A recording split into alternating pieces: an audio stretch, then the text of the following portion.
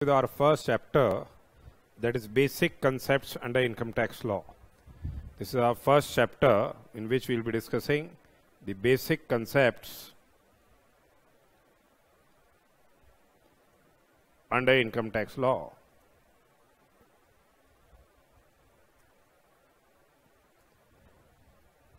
So here first of all we will be getting an understanding the what are the constitutional provisions? How the government levy taxes? Under which authority the government is levying those taxes? What are the acts which have been framed in this regard? And then we'll be discussing the basic concepts. So fundamentally here income tax it is what? A subject matter of central government. That is the power to levy tax income tax. Vests with the central government white vests with the central government. Since the subject matter is covered in entry 82 of union list. It is covered in entry 82 of union list and what entry 82 of union list provides for? It provides for taxes on income. Other than agricultural income. As you are aware of the fact that in the constitution we have what? Union list, state list and concurrent list. The subject matter taxes on income other than the agriculture income is covered in uh, entry 82 of the union list. That means what? The power to levy income tax other than agriculture income vests with central government. That is power to make laws in respect of union list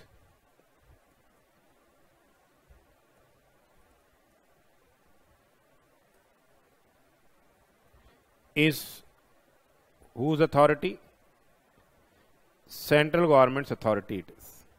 So here, in exercise of the powers which had been conferred by entry 82 of the union list, the central government has framed the Income Tax Act. The Income Tax Act 1961. The central government has enacted what? The Income Tax Act 1961. Besides that, we have the income tax rules.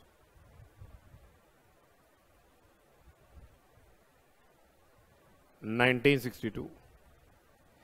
We have judicial decisions,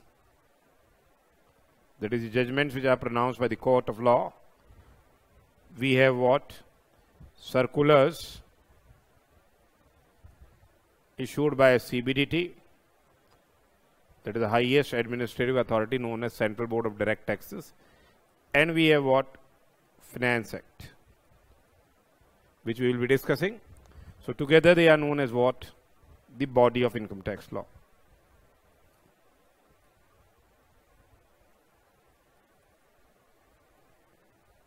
Together it is known as what? The body of income tax law. Now fundamentally what we are seeing here is initially we'll be discussing what is the body of income tax law. Then we'll be coming to the charging section, that is how the income tax is charged, and other aspects, that is assessment year, previous year, concept of income, how the taxation is done, what are the exceptions where taxation is done in the same year. So fundamentally we'll be discussing this and then we'll be going for the rates of tax.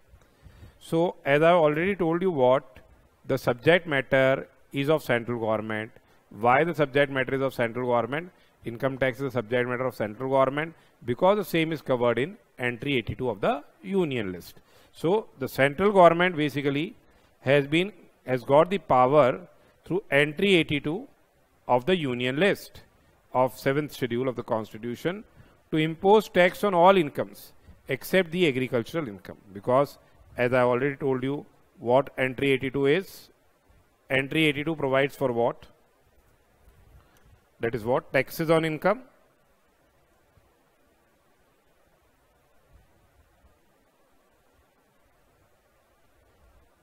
Taxes on income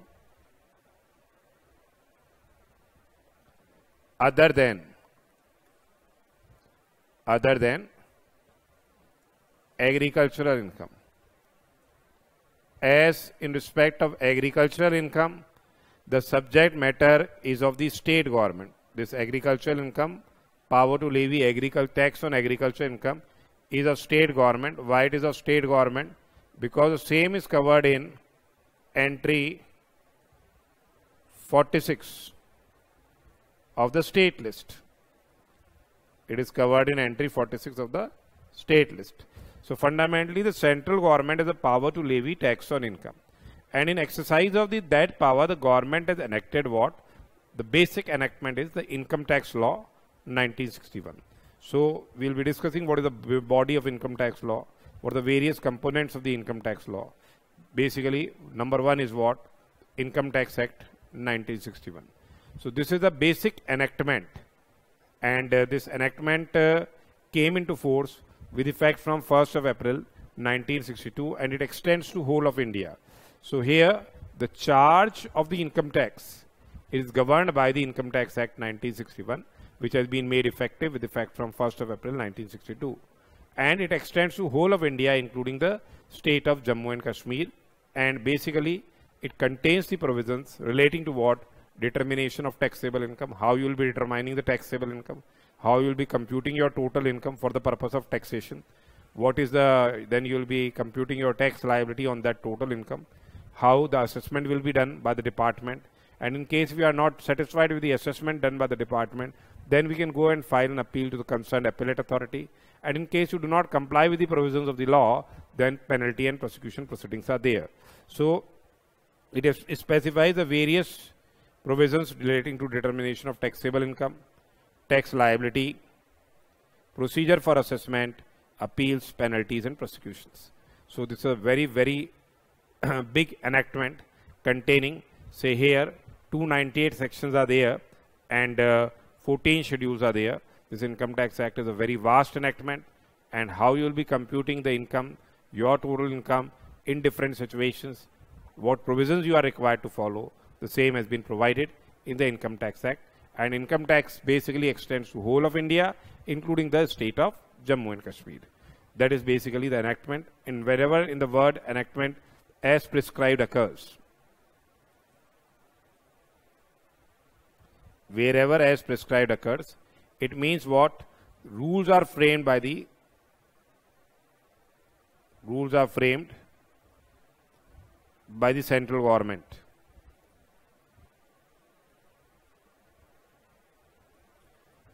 So here income tax rules 1962 and uh, central government has delegated the power to the central board of direct taxes. Basically CBDT has been empowered to make the rules. So section 295 of the income tax uh, act basically empowers what? CBDT to make the rules. This is a form of a delegated legislation. It is delegated legislation. So here section 295 of the act empowers the CBDT to make the rules. These rules basically are notified by way of notification in the official gazette. These rules they are notified by way of notification in the official gazette. And in the enactment wherever the word as prescribed occurs. In the enactment wherever the word as prescribed occurs, it means what rules have been framed in this regard. Say if uh, we go for computation of depreciation, rates, depreciation rates are the where? In the rules. In which form we have to file our income tax return, that will be provided in rules. In which form we have to go and file an appeal to the appellate authority, that is also provided where in the rules. So rules are framed by the CBDT and it's a form of a delegated legislation. And in the enactment, wherever the word as prescribed occurs, in the enactment, wherever the word as prescribed occurs, this as prescribed. That means what? Rules will be framed by the central government or CBDT and rules have been framed by what? CBDT, basically Central Board of Direct Taxes. Then we have circulars and notifications. That is what for the administration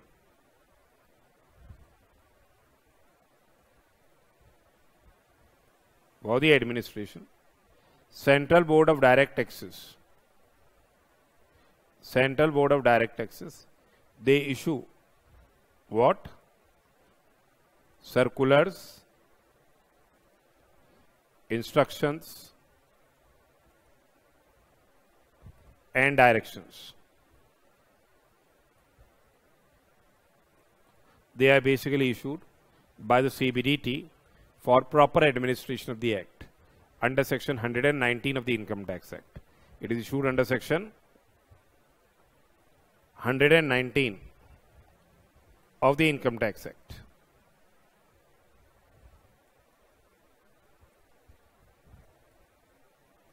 That is here section 119 of the Income Tax Act. Section 119 of the Income Tax Act empowers the Central Board of Direct Taxes to issue orders, instructions and directions for the proper administration of the Act. So they issue what orders, instructions and directions for the proper administration of the Act. CBDT basically issues what? Orders, instructions and directions for the proper administration of the Act. And the income tax authorities, basically they are bound by these orders, instructions and directions. Whatever circulars are issued, they are bound by those orders, instructions and directions. However, these orders, instructions and directions, they are not binding on the assessee. They are not binding on the assessee, Income Tax Appellate Tribunal or court. They are not binding on the assessee, Income Tax Appellate Tribunal or court. And in case if any orders, instructions and directions have been issued which are beneficial, which are beneficial, then in that particular circumstance, these for these beneficial, you know, these circulars, these beneficial circulars, the assessee can uh, show the same to the departmental officers and then they will be applying those whatever is given those circulars. So here section 119 uh, has been uh, giving power to the Central Board of Direct Taxes for the proper administration of the Act they can issue orders, instructions and directions which are binding on the income tax authority while discharging their administrative functions. Besides this, this law is a very big law as you are aware, then there may be difference in the opinion. So here we go and file appeal to the concerned appellate authorities or we may be going filing an appeal to the income tax appellate tribunal or if we are not satisfied with the High Court and Supreme Court. Now High Court and Supreme Court or the tribunal, they pronounce the judgments. Now, what are the, these judgments are known as what? These are known as judicial decisions. And basically, what judicial decisions here, they set a law. What the law basically is. So, they analyze that. So, Supreme Court's judicial decisions, they are binding on what? The, all the courts, appellate tribunals, and income tax authorities as well on, on the assessees. As you are aware, whatever judgment is pronounced by the Supreme Court. It is a binding over all the assessees in, under the income tax law as well as what? The departmental officers, courts, lower courts, appellate tribunals. And in case if there are two uh, contradictory, contradictory judgments have been pronounced by the Supreme Court. And uh, then we go for the uh, judge. How much, uh, how many judges were there in the bench? In case here it is what? Larger bench judgment prevail over what? Smaller bench. Larger bench judgment prevails over what? The smaller bench. And uh, in case when equal number of judges are there in a bench, say in both the benches there were two judge bench then later bench equal number judges then what happens later judgment shall prevail later judgment shall prevail so basically where any two judgments of the supreme court are contradictory, then the decision of the larger bench, whether pronounced earlier or later in time, shall prevail. That we already discussed. However, when benches have equal number of judges, gives contradictory decisions, then the later decision shall prevail. Then High Court's precedents basically are binding on the tribunal, income tax authorities, and on the assessees falling under its jurisdiction. Now here this is basically what we have discussed is about what the body of income tax law. Then we have what? Finance Act.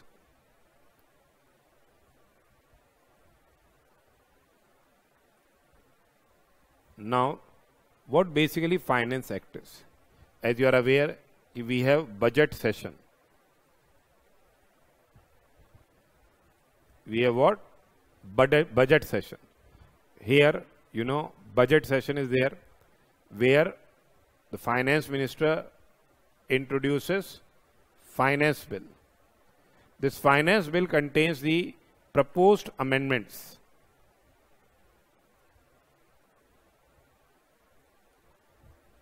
to be made in direct taxes and indirect taxes. direct as well as indirect taxes. Then this uh, finance bill is uh, presented in the parliament and when the both the houses of parliament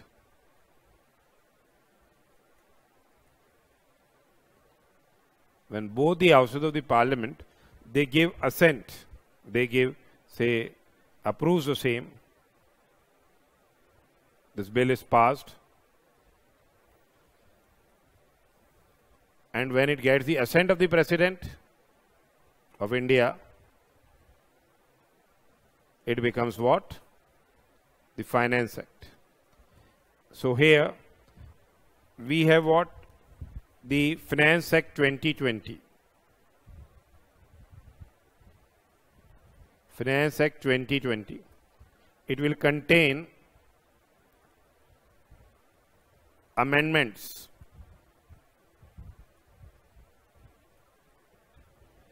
Which will be applicable for the assessment year 21-22 for the assessment year 21-22 so here they, they uh, listen every year the finance minister of India he presents a finance bill in the parliament which contains what the various uh, amendments which are proposed to be made in the direct taxes and indirect taxes levied by the central government. As soon as what the bill is passed by both the houses of the parliament and when it receives the assent of the president, then it becomes what? The Finance Act. And the amendments proposed therein, they are incorporated basically in the Income Tax Act, which are applicable from first day of the next financial year. So fundamentally, they are applicable for assessment year, say 2022. So this is what about the body of the income tax law. What we have discussed is about the body of the income tax law, though a bit theoretical, but you must have an understanding that we have what this type of act is there. I am showing this is basically the Income Tax Act. This is basically the Income Tax Act, which is containing what 14 schedules and 298 sections. This this is the act which is there. You don't have to read the act, but you have just got an understanding. Then we have got the income tax rules. Every year, finance bill is introduced in the parliament and uh, when both the houses of the parliament pass the bill and it gives the assent of the, when it gets the assent of the president, it becomes finance act. So this income tax act, income tax rules, finance act, judicial decisions and circulars, instructions and directions which are issued by the CBDT and judicial decisions I already told you Together, they are known as what? The body of income tax law. This is income tax law. This is the body of what? The income tax law. So this we have discussed. We'll be discussing further, you know, we'll be discussing further aspects in our next lecture. This is was just an introduction about what the body of the income tax law.